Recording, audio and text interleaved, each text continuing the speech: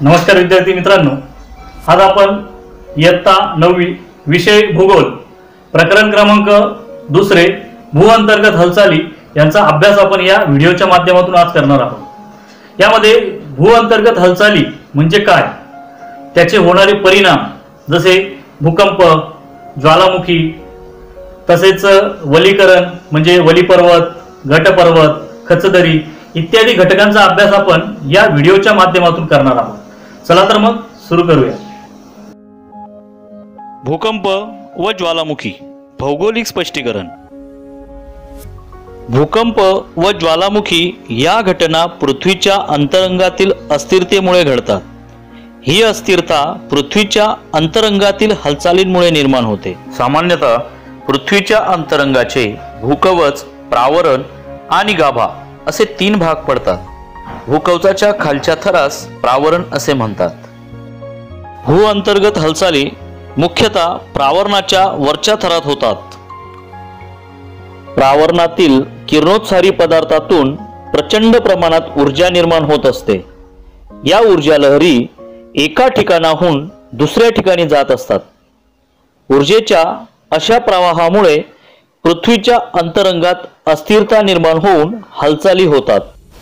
विद्यार्थी मित्रांनो पाठ्यपुस्तकातील पृष्ठ क्रमांक अकरावरील या तक्त्यानुसार तुमच्या लक्षात येईलच की अंतर्गत भू हालचालींचे वर्गीकरण गती दिशा आणि भूरूपे यांच्या आधारावर केले जाते. या वर्गीकरणातील गती म्हणजे भूगर्भात तयार होणाऱ्या ऊर्जेचा वेग यालाच गती असे म्हटले जाते.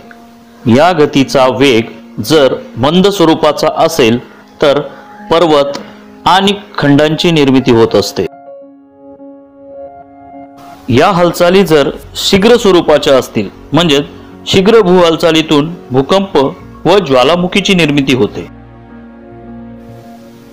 आता आपण दिशांवर आधारित वर्गीकरण बघूया. विद्यार्थी मित्रांनो भूगर्भातील ही ऊर्जा ज्या दिशेने वाहते त्या दिशेने भू हालचाली निर्माण होत असतात. यामध्ये दोन प्रकार आहेत.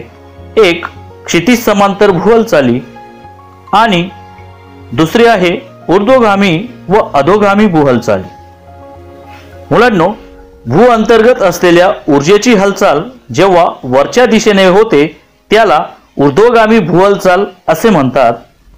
व जेव्हा भू अंतर्गत ऊर्जेची लहरी जेव्हा खालच्या भागात वाहतात त्याला अधोगामी भूहलचाली असे म्हणतात.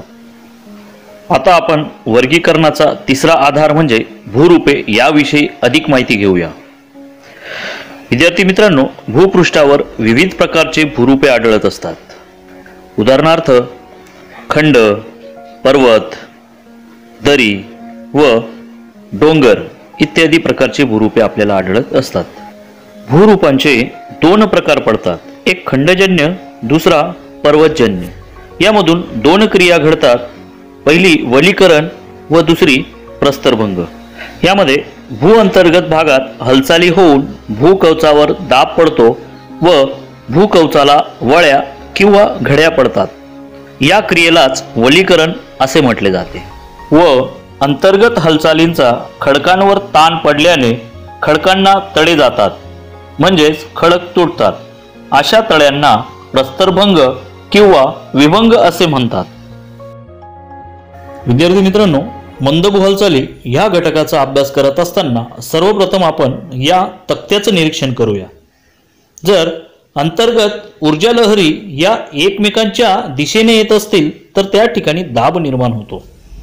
आणि हा दाब जर कठीण कडगांवर झाला तर प्रस्तरभंगाचा परिणाम आपल्याला बघायला मिळत असतो. समजा हा दाब जर मृदू खडकांवर झाला तर त्या ठिकाणी वलीकरणाची क्रिया आपल्याला बघायला मिळत असते. या उलट जर ऊर्जा लहरी एकमेकांच्या विरुद्ध दिशेने जात असतील तर त्या ठिकाणी ताण निर्माण होतो आणि तेथे सुद्धा प्रस्तरभंगाची प्रक्रिया होत असते. विद्यार्थी मित्रांनो आता आपण मंद भू हालचाली याविषयी माहिती घेणार आहोत.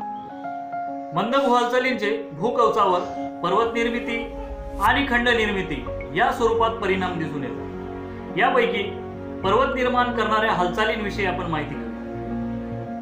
पर्वत निर्माण करणाऱ्या हालचालींमध्ये वली पर्वत गट पर्वत खचदरी इत्यादी. यापैकी सर्वप्रथम आपण वली पर्वत याविषयी माहिती घेऊया. वली पर्वत अंतर्गत भूहालचालींमुळे क्षितिज समांतर व एकमेकांच्या दिशेने जाणाऱ्या ऊर्जालहरी निर्माण होतात. तेव्हा मृदू खडकांच्या थरावर दाब पडून वळ्या निर्माण होतात.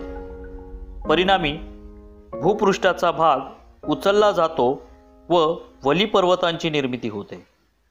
उदाहरणार्थ हिमालय अरवली रॉकी अँडीज व आज पुढील प्रकार आहे गट पर्वत अंतर्गत हालचालींमुळे क्षितिज समांतर व एकमेकांपासून दूर जाणाऱ्या ऊर्जालहरी निर्माण होतात. तेव्हा खडकांवर ताण निर्माण होऊन विभंग तयार होतात. अशा प्रकारे कठीण खडकांमध्ये ऊर्जालहरी एकमेकांकडे आल्याने दाब पडून असे विभंग तयार होतात. दोन समांतर विभंगांमधील भूकवचाचा भाग जेव्हा वर उचलला जातो तेव्हा हा उचलला गेलेला भाग ठोकळ्याप्रमाणे दिसतो. असा भूभाग गट पर्वत म्हणून ओळखला जातो.